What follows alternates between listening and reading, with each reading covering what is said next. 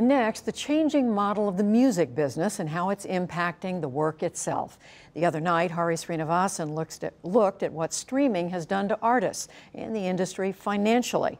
Tonight, he is back with a second report, this on how artists, companies, and big labels are approaching the whole idea of recording differently. It's part of our series we're calling Music on Demand.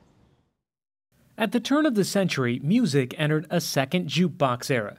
No, not because Wurlitzer rolled out a new model, but when Apple launched iTunes, the music player essentially unbundled the album and put the individual song at the center of the musical universe once again. Listeners could go back to buying a single song instead of an entire album.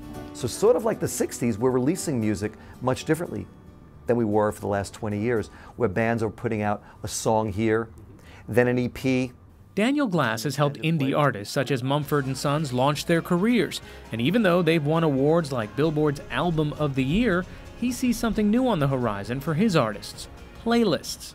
The drum that's beating in the street that you're following really is a curation of like-minded playlists. So for example, what are your hobbies? If you like to exercise, you like to follow basketball, there's NBA uh, playlists. What do they use to warm up? What do they use in halftime?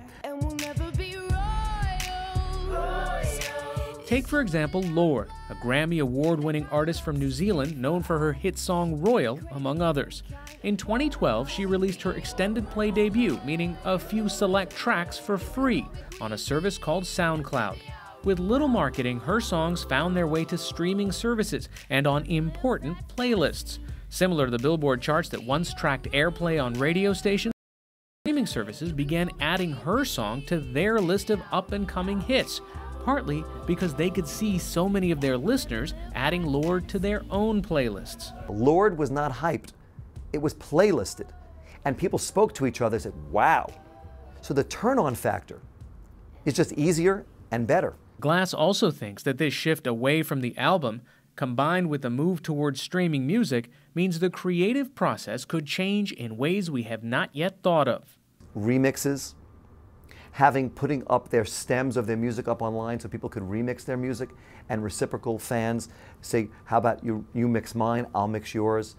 Uh, so it's a different experience. Ken Parks is North American head of Spotify, one of the largest streaming services in the world. We'll see people uh, creating and releasing music in, uh, in novel ways. Releasing, instead of albums, maybe they'll release a song uh, a week for, uh, for 20 weeks.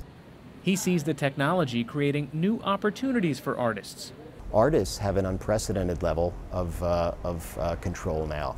Um, they can, um, with, with the tools that are available, they can record uh, a song and within a matter of minutes uh, upload it and uh, connect with millions of people around the globe.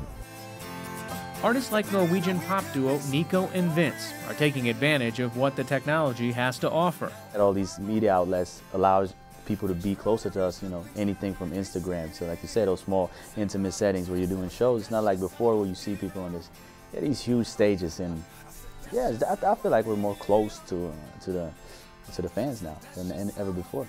While their fame was built on successful tracks, they still strive for the artistic expression of the album. That's always been the thing for us. You know, we really wanted to make a, a the top to bottom work of art in that sense. You know, really try to piece together a story.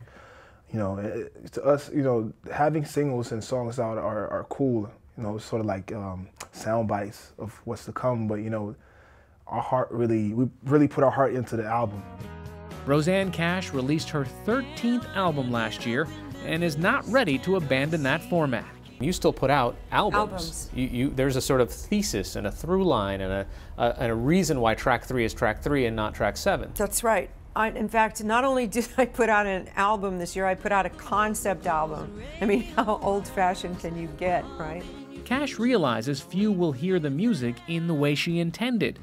You know, I'm pretty active in social media, and when we were sequencing this album, I I, we were obsessing about it. We must have done 30 or 40 sequences, and then I just put something on Twitter and I said, why am I even bothering with this? Nobody listens to albums in sequence anymore. The numbers prove that. With album sales dropping, the music industry is trying to make money by streaming a track at a time. But for some artists like Cash, the math just does not add up. streaming sales don't come close to replacing what used to be her album income. Is there an impact on your creative process? Do you think that the lack of an ability to make a living off of your art would be a strong enough disincentive for you to not pursue that path? I think what happens is that you have less time to create your work because you know it's all expensive studio time and if you have to take off a year to write a record i mean you know not many people can afford to do that um, so yeah it definitely impacts how to make artists like cash whole again through this transition is the challenge that streaming services face Songza, a streaming service Google bought last summer, thinks the key is to introduce more people to new music they find relevant based on what they're doing at the time. During finals, we have a lot of kids, of high school students and college students, listening to classical for studying. So we expose a sort of a demo that would never search out classical music on their own to it because we say, we know that you're studying, this is great music for helping you focus without distracting you with lyrics, try it. And people take us up on that. The app and service suggests playlists of songs based on the time of day, the activity you're doing, or the mood you're in. Its co founder, Elias Roman, says it's those introductions to new sounds at just the right moment that will lead a listener to an artist something we all spend a lot of money on, in fact. I think when music is packaged in a way where it's this essential ingredient to doing all of those things better, it becomes a much more intuitive thing to pay for for a generation that, per your point, might not think access all by itself is worth paying for. And that longer paid relationship between listener and artist is what streaming services and record companies want to be between. Streaming services increased their revenue by 54% in 2014 it seems the industry is convincing listeners to pay for music again, just not albums.